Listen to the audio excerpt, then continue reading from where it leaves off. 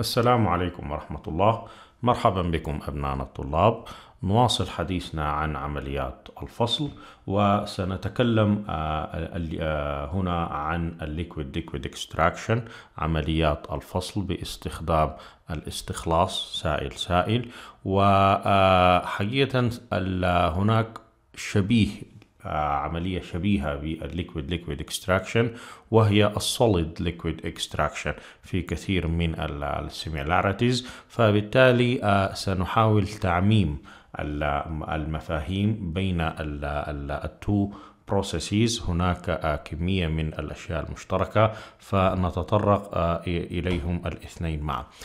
آه، بالنظر إلى عمليات الفصل المختلفة حقيقة عمليات الفصل آه، كثيرة جدا وتتراوح آه، صعوبة عملية الفصل من حيث التنفيذ على حسب العوامل ال physical وال chemical properties للمواد المراد فصلها. فإذا نظرنا مثلا إلى عمليات الفصل الفيزيائية والتي تشمل على سبيل المثال ال decantation وال filtration demisting هذه العمليات كلها آه، عمليات فصل بسيطة من حيث المبدأ.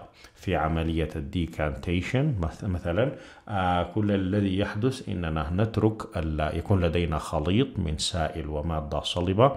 نترك هذه المادة الصلبة آه، إلى أن تترسب في الأسفل ثم نفصل السائل اللي بيكون في الجزء الأعلى من الوعاء بضمان السريان بمعدل very low flow rate. حتى إننا لا نسحب جزء من الصلب مع السائل اللي اللي المطلوب فصله. عملية ال filtration معروفة لدى الجميع لدينا ال coalescing لدينا ال demisting هذه عمليات فصل فيزيائية لا تصاحبها تغييرات كيميائية للخلائط فبالتالي بتعد من أسهل عمليات الفصل الذي نستطيع أننا نواجهها في الصناعة. وإذا نزلنا إلى أسفل آه، الشكل اللي أمامنا بنجد بأنه صعوبة العملية تزداد.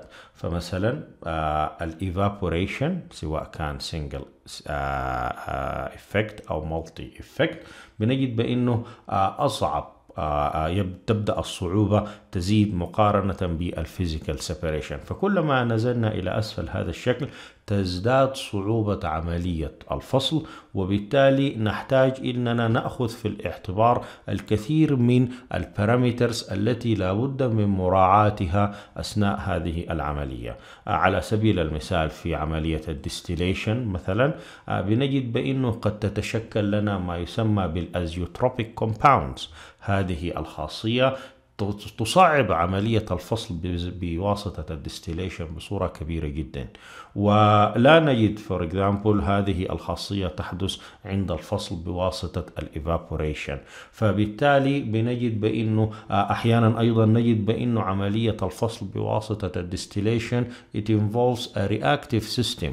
ف this has to be taken into consideration. Such a, a parameter is not included في حالة الفصل بواسطة ال evaporation أو بواسطة ال physical separation in general ال extraction مقارنة بال distillation is more complicated لأنه يتطلب النظر إلى مجموعة أكبر من ال parameters لا نأخذها في الاعتبار في حالات ال distillation وال evaporation وال physical separation ال extraction نفسه يمكن أن يزداد تعقيدا إذا أضفنا إليه ال reactive extraction system ففي هذه الحالة عملية الفصل بتكون أصعب من عملية الفصل بواسطة a simple extraction technique. Uh, ال absorption uh, we have to consider the temperature we have to consider the pressure swing في هذه الحالة.